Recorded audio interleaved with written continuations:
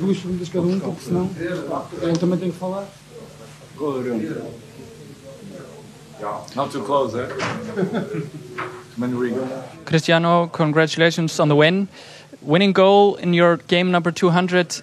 Can you describe the feeling?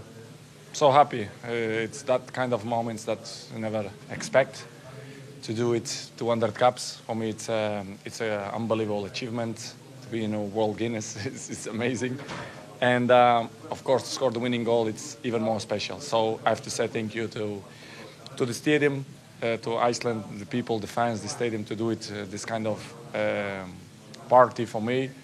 Portugal national team, the federation. So happy, special day. I have to say thank you to all of them. They make my day. Uh, they make my night. Let's say in that way. It's not night, but they make my day. Let's say in that way. Are you happy with the overall performance?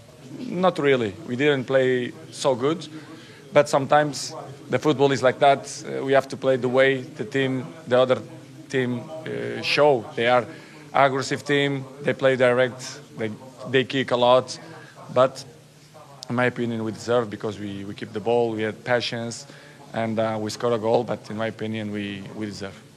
But this icing on the cake. Say again. The, the goal icing on the cake.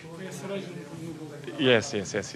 I, this is why I'm I'm so happy because 200 caps, but even more special with the goal. Thank you. Thank you.